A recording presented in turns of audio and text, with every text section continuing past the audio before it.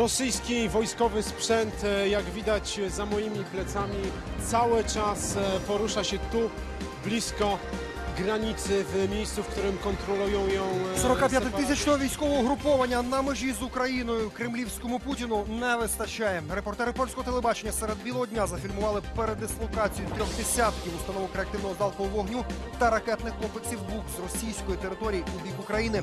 Аналітики підсумували на кордоні російської присутності збільшилось на одну батальйонну тактичну групу. В РНБО інформацію підтвердила, але про те, що це повномасштабне воєнне вторгнення, не говорять. Добрий вечір. Це спецкор на 2 плюс 2 в епіцентрі уваги. Найвагоміші прояви понеділка, 18 серпня. Білий прапор як мішень для терористів. Колону з біженцями біля Луганська бойовики знищили градами. Загинуло багато людей, в тому числі жінки і діти. Точної кількості загиблих цивільних людей дотепер не знає ніхто. НАТО стрілятиме на ураження, якщо Росія зазіхне на територію будь-якої з країн-членів альянсу. Помирити ж Україну з Росією на переговорах у Берліні не вдалося.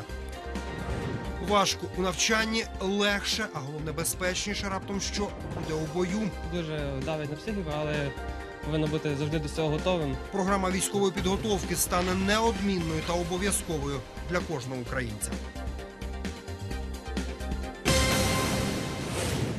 У Луганській області терористи з реактивних систем залпового вогню розстріляли колону автомобілів. Рухалися автівки організовано під білими прапорами і тікали на них від жахів війни з Луганщини всередину України цивільні мешканці. Про кількість загиблих інформації обмаль дорога між Хрещуватим та Новосвітлівкою, там, де власне стався обстріл, фактично перебуває під контролем бойовиків. Але свідки, які змогли розповсюдити інформацію, стверджують, що люди просто згоріли у власних машинах. Колону біженців з Луганщини розстріляли між селищами Хрящувати та Новосвітлівка. Евакуювали людей з окупованих міст на військових машинах оперативне командування групи Північ, повідомляє їхня прес-служба. На кожній машині була позначка Люди та білий прапор. Попри це, колону розстріляли. З охоплених полум'ям машин люди вибратися не змогли. Кількість жертв десятки. Колона складалася з двох частин. Перша частина це було доросле населення.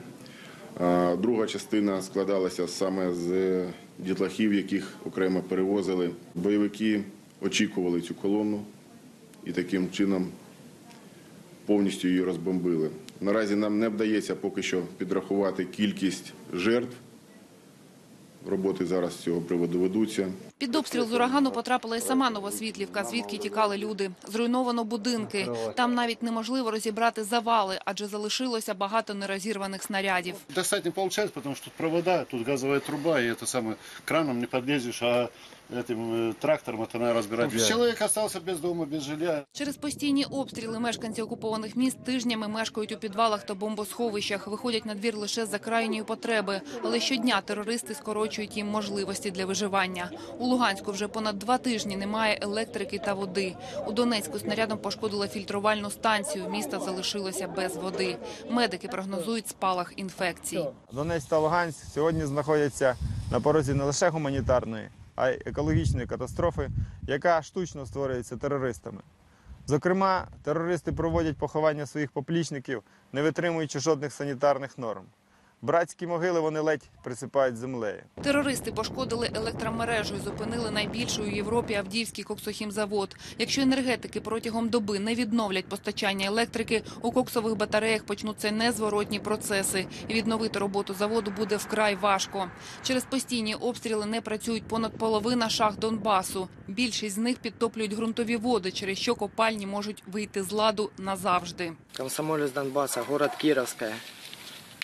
Снимаем обстрел. Там что-то горело, там аж взорвалось что-то. Поїхати з зони АТО з кожним днем стає дедалі важче. Через постійні обстріли залізниця скасувала більшість маршрутів. На дві області залишилися тільки шість потягів, які ходять з Костянтинівки та Маріуполя. Світлана Фечун, Станіслав Фещенко, Донбас, спецкор 2+,2.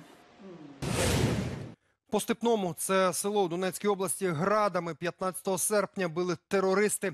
Докази нині оприлюднила Служба безпеки України. На аудіозаписі розмова двох бойовиків на прізвиська Вовк та Корса. Остання жінка, яка виконує функції розвідника коригувальниці, власне, вона і наводила гради на ціль. Перший заступник начальника штабу, структура, яку бойовики називають Міністерство держбезпеки ДНР. Терористи визнають, що обстріляли мирне населення, і самі ж кажуть, що так вже було не раз. Як боротися з докорами сумління та на кого вішати провину за вбивство людей, терористи також довго не роздумують. Ну, там мирные, да. Три наши хаты задели. В одной хате малые дети. Меня в жар кидает. Знаешь, что надо?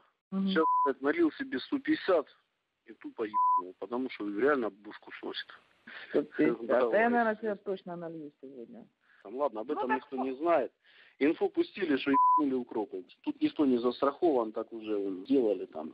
Это война. Українські регулярні урядові підрозділи зайшли до Донецька та Луганська. Обидва міста мають величезну площу, і терористи чинять там просто шалений спротив. Власне, про звільнення мегаполісів за лічені години навіть розмови ніхто не веде. Натомість у РНБО стверджують, що принаймні один з районів Луганська майже повністю тепер під контролем армії. А над будівлею одного з райвідділів міліції вже здійняли український прапор. У Донецьку є відомості, бої точаться у Кіровському та Петровському районах. І буквально щойно стало відомо, не менш запеклий бій триває просто у ці самі хвилини у місті Ясинувата. Це за 15 кілометрів на північ від Донецька. Ще два українські прапори на мапі сходу України. Сили антитерористичної операції звільнили населені пункти Чорнухине та Хрящувати на Луганщині. Повністю оточена Горлівка, один з форпостів терористів. Українська армія майже замкнула кільце навколо Єнакієвого. Західна тактична група українських військ уже увійшла з боку Мар'їнки у Петровський район Донецька і з боку Старомихайлівки у Кіровський район міста. Інша група увійшла в Ясинувато і готується до зачищення Макіївки. Кільце навколо Луганська від учора замкнене. Наші підрозділи не тільки перейшли річку Лугань, але й уже поступово наближаються до центра міста. Українським військовим вдалося е, відбити вже частину міста Луганська. Вона зараз утримується нашими військовими. Проте ускладнилася ситуація на кордоні з Росією. Є дані про те, що терористи за вогневої підтримки росіян пробили собі коридор від Сніжного до Маринівки і таким чином відрізали правий фланг Амвросіївського груповання української армії. Наразі українські військові закріплюються, обладнують блокпости, і це дає змогу не відступати, але саме там зараз ідуть е, позиційні бої. Головна проблема сил АТО – постійна підтримка терористів з боку Росії. Вже є підтвердження того, що наш сусід-агресор почав застосовувати під час обстрілів не тільки гради, але й системи залпового вогню «Ураган». При дальності 35 кілометрів у них утричі більша площа ураження. Костянтин Павлов, Ігор Бондаренко, спецкор 2+,2. Хочеш миру? Готуйся до війни. Північно-Атлантичний альянс дасть відсіч Росії, якщо вона спробує проникнути на територію будь-якої країни альянсу. Про це заявив головнокомандувач об'єднаних сил НАТО в Європі генерал Філіп Брідлау. Командувач упевнений, у зв'язку з подіями в Україні реальна воєнна загроза тепер нависла над усіма країнами Східної Європи. Натомість помирити Росію з Україною не вдалося. Саме це намагалися зробити у Берліні. Там до пізньої ночі тривали переговори міністрів закордонних справ Німеччини, Франції, України та Росії. Спостерігала за дипломатичними зусиллями Ірина Павлинок. Пейзаж більш мирний, навіть пасторальний, аніж тут у цьому передмісті Берліну складно собі уявити. Але тема новин, яку передають звідси журналісти із багатьох країн війна. Чи можна бойові дії на цьому етапі перевести у політичну площину? Над цим міністри закордонних справ чотирьох країн думають уже впродовж багатьох годин за зачиненими дверима. Сподівання у дипломатів були немалі підготувати у Берліні іншу зустріч, де за круглим столом про мир говорили би президент Порошенко та Путін. Але у посередників між Україною та Росією мало шансів, визнав головний дипломат Німеччини ще на початку перемовин. Вісті зі східного фронту невтішні. Ми далекі від закінчення конфлікту. Люди продовжують вмирати. Ми не маємо перемир'я і далекі від політичного рішення.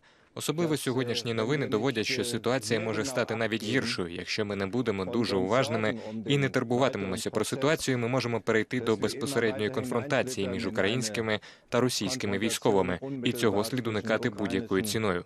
Поки міністри закордонних справ Німеччини, Франції, України та Росії протокольно прогулювались біля озера та готували берлінську зустріч, бойовики на сході збили український літак та встигли похвалитися підкріпленням з Росії 1200 тренованих найманців, 30 танків та 120 військових машин.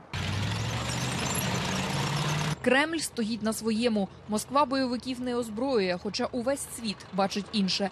Військовий конвой іде з російського боку потоком. До так званого гуманітарного теж багато запитань. Україна вимагає від західних партнерів жорсткішої позиції і дій.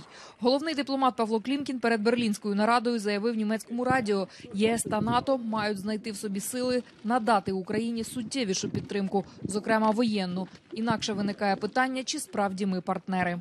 Європейський Союз має розмовляти одним голосом, що він повинен мати послідовну позицію з підтримки України. Це зараз демонструє і ця зустріч. Для мене ключовими пріоритетами на сьогодні є знайти умови, як припинити обстріли української території. Для мене ключовою проблемою є, як закрити кордон від постійного трафіку зброї, людей, грошей з території Росії. Більше п'яти годин перемовин за зачиненими дверима. Франція нагадала Росії, що пріоритетом залишається територіальна цілісність України. Німеччина пояснила, що війна на українському сході і досі триває, бо міжнародні домовленості не виконуються. Роз'їжджалися міністри глухої ночі. Росіянин Лавров без коментарів. Глава української дипломатії через твіттер поділився, що розмова була надскладною, але для результату треба ще багато підходів. І додав, що національні інтереси Україна не здала. Немає місця компромісу там, де держава повинна перетнути червону лінію. Україна її не перетинала. Відчував підтримку партнерів. Метою залишається припинення вогню на українському сході. Підсумував переговори Франк Вальтер Штайнмаєр. От тільки наразі заглушити зброю дипломатам не вдається. Ірина Павленок, спецкор 2+,2. Російський міністр закордонних справ Лавров, як не дивно, знайшов позитив у підсумках берлінських переговорів. Він заявив, що задоволений прогресом у вирішенні питань довкола гуманітарної білої колони, яку Москва другий тиждень везе до східних регіонів України. Про припинення вогню в зоні конфлікту поки що не йдеться. Разом із тим Лавров визнав, що Росія таки скупчує на своєму західному кордоні просто проти України величезну кількість техніки та солдатів. Лавров натякнув, що їм у Москві просто страшно. здесь осторожность лишней быть не может. И э, бдительность, она, мы обязаны ее проявлять. Э, и в любом случае, повторю еще раз, на нашей территории мы вправе принимать решения, которые мы считаем необходимыми для обеспечения нашей безопасности. Він народився у Росії, а життя віддав за Україну. Андрій Бровінський до зони АТО пішов воювати добровольцем. Мріяв він витурити зі сходу України окупантів, колишніх власне своїх співвітчизників. Та так вийшло, що від їхніх рук герой загинув. Він закрив собою від куль брата близнюка. Його немає вже 40 днів, а мати й досі не вірить, що її Андрій більше не повернеться додому. Жінка розповідає, в родині до останнього не знали, що їхні хлопці-близнюки в зоні АТО. Батькам брати розповідали, служать в Бердичеві і лише випадково обмовились, що поруч море. Дві неділі тому, перед смертю Андрія, вони на один день заїжджали сюди. І тоді ми узнали, що вони вже в гарячій точці. Потому что они проговорились, что сегодня едем на Азов купаться. Андрій разом з Олександром охороняли блокпост у Новоазовську. Територія контрольована українською армією, але там час від часу стаються диверсії. Того разу бойовики відкрили мінометний вогонь. Андрій зреагував миттєво і прикрив собою брата. Но осколки он взял на себя. Ну, потом меня накрыло дальше, его убило. Ну, уже потом обратно сказали на позиции, побежали на позиции. Когда прозвучало, что пошла перекличка, вот, я услышал, что э, Бровинскому ничего не говорите. Пока мисс. Вот. И потом я узнал, что Андрюхи нет.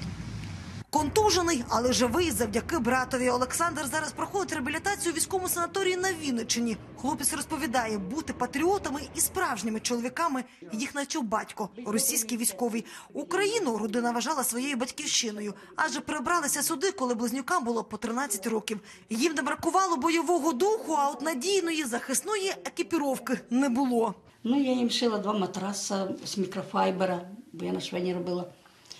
Дві плашнакитки зшила такі, щоб від дождя накривалися вони, бо нічого не, не було. Он вот здесь лежал, понимаете, Вот, по у телевизору. него, если бы была бы каска, вот такой прямо то дюрка в него. Якби була каска, була б дюрка. Звісно, ні. Ось цей військовий кашкет, який був на Андрієві замість каски. Його старший брат Сергій ледь стримує сльози. Поки близнюки воювали, він був волонтером. Передавав бійцям прилади нічного бачення та біноклі. І нещодавно придбав каски та бронежилети. Брати отримати їх не встигли. Обрадовал, я говорю, броники выслал. В четверг ориентировочно уже будут у вас э, на голове каски. На тот момент он стоял в одной кепке. И,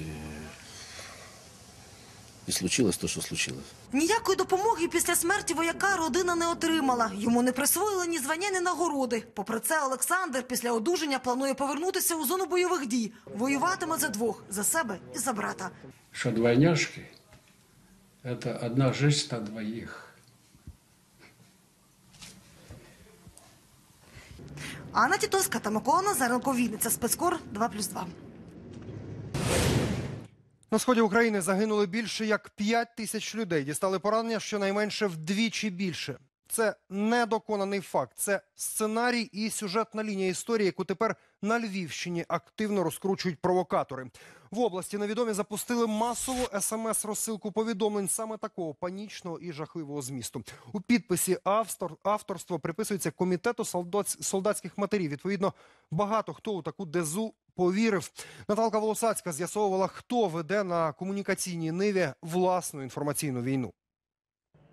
СМС-повідомлення про жахливі втрати серед українських військових львів'янку Ірину Юзик обурило. Це провокація, бажання людей налякати, розхитати ситуацію, зірвати хвилю мобілізації, взагалі посіяти паніку. Про те, що отримала смс-ку із вигаданими цифрами втрат сил АТО, Ірина написала у соціальній мережі. Одразу зголосилися й інші отримувачі. До того ж, з'ясувалось, повідомлення надходять від трьох операторів мобільного зв'язку. Дмитрові така смс-ка приходила двічі з інтервалом у кілька хвилин. Перша думка ха-ха-ха, дуже смішно. Хотілося б відповісти на цю смс-ку. Е, Ну але намагання всі марні. Повірити цій смс, ну напевно, що може ненормальна людина і навести паніку. Мені теж здається, що це безглуздо просто.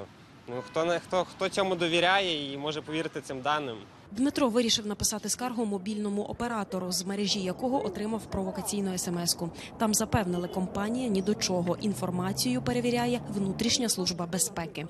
Номери жертв зловмисники отримують або за генераторами телефонних номерів, або з баз даних, які використовують спамери. Кожен з нас залишав свій мобільний номер телефону чи е, в торгових мережах, е, чи в інтернеті. Ніхто не може гарантувати, що десь ці номери не можуть з цих номерів не може формуватися якась база даних, і вона десь потрапляє не зовсім за призначенням. Військові запевняють, інформація з смс-ок неправдива. кажуть, такі ж повідомлення отримують і вояки на Донбасі, і їхні рідні. Іде інформаційна війна е, з залученням будь-яких без- е, засобів для того, щоб впливати на моральний стан нашого суспільства. Всюди дописаний нуль. Якщо е, і ця інформація, я так е, розумію, десь місячної давнини, коли там було 480, вони додали нулік. Якщо було 1200, вони додали нулік, вже стало 12 тисяч. Підпис у смс-ках комітет солдатських матерів за вказаними на їх сайті телефонами ніхто не відповідає. А за адресою львівського осередку Шевченківська райадміністрація. Кабінет 305 відділ соціально-економічного розвитку Шевченківської адміністрації.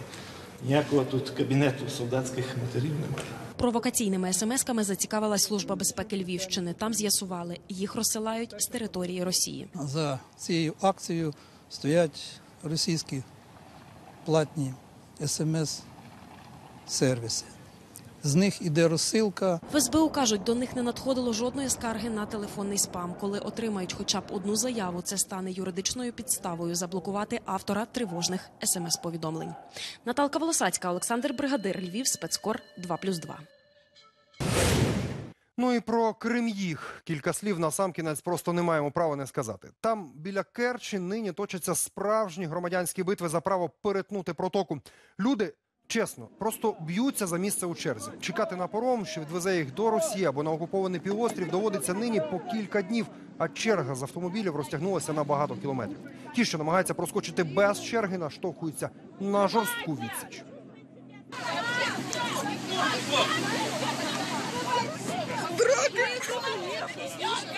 Сколько вы ночью пропустили блатных? Мы никого не дети умирают, вот! Никого не пропустили. Скорая в городе.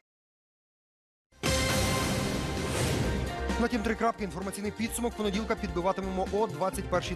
Звісно, що на 2+,2. плюс 2. Дочекайтеся.